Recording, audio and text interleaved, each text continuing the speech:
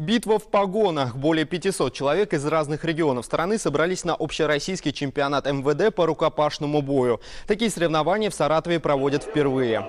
67 команд региональных подразделений внутренних дел Российской Федерации и курсанты из 15 высших учебных заведений МВД поборются за титул чемпиона престижного первенства. Подобные мероприятия проводятся уже 14 лет. В них участвуют исключительно бор- борцы высокого класса.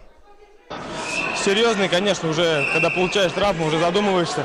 И самое главное подготовка, то есть если ты готовишься и профессионально к этому подходишь к делу, то травмы можно избежать.